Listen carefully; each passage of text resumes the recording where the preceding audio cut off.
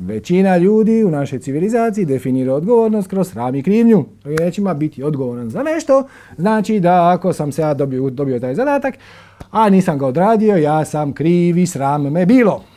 Šta je bolno. Dvije najgore emocije, sram i krivnje. Umjesto toga definirajte odgovornost ovako. Odgovornost je sposobnost odgovora. I to je sve što odgovornost jest. Ako si dobio neki zadatak i napravio si najbolje što možeš i neko te pita je li uspjelo, nije, pa dobro zašto nije, ha gle, probao sam to, probao sam to, dao sam sve od sebe. Kako iko može tražiti od tebe da daš više, onda napraviš bolje od najboljeg što možeš.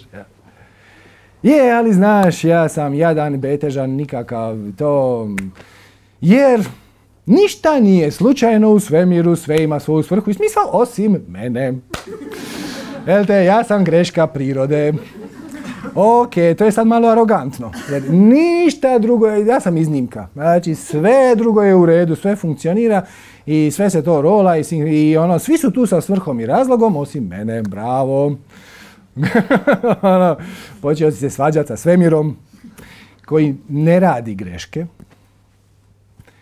Pa onda ako ti sad njemu kažeš je, je, pogriješio si kod mene, Svemir će ti iz perspektive bezuvjetne ljubavi u kojoj je utopljen jednostavno pustiti da iskusiš to iskustvo.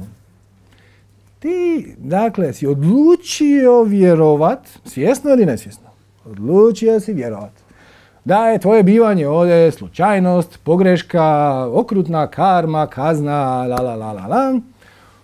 Ok, svemir te toliko bezuvjetno voli da će te podržati čak i u tvojom uvjerenju da te ne voli.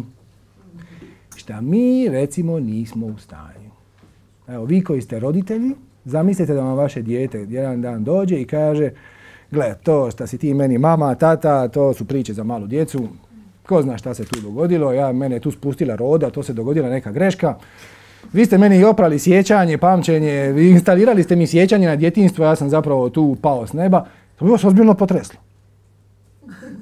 Mislim, volimo mi našu djecu kao ono bezuvjetno, načelno, ali da ti kažu ono, znaš šta, aj k vragu, jer šta si me tu doveo, malo bi te to pogodilo.